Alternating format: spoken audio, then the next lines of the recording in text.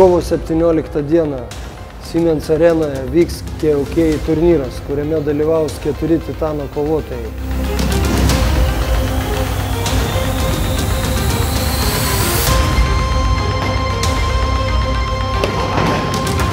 Labai džiaugiuosi už galimybę ten dalyvauti ir ypač noriu padėkoti KOK organizacijai už tai, kad vienoje kovoje Sigitas Gaižauskas kovos pagal Muay Thai taisyklės.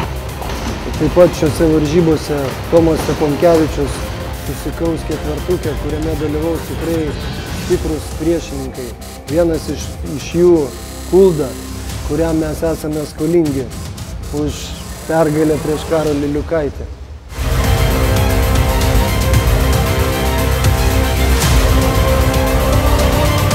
Taip pat didžiuojas Mindaugu Narausku ir Arvidu Gervė, kurie irgi surems pirštinę su savo kovotojais.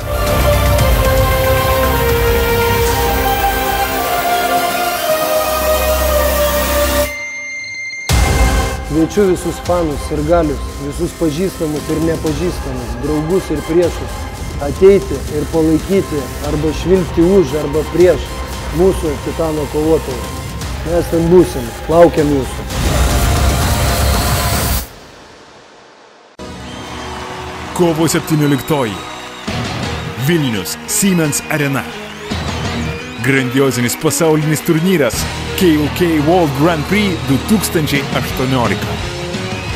Įtampa, adrenalinas, pajėgiausi Lietuvos ir pasaulio kovotojai viename ringe.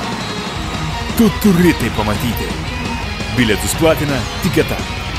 Daugiau informacijos bushido.lt.